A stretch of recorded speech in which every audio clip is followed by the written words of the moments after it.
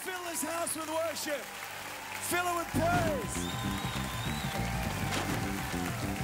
Oh! Clap your hands, all you people. Shout unto God with a voice.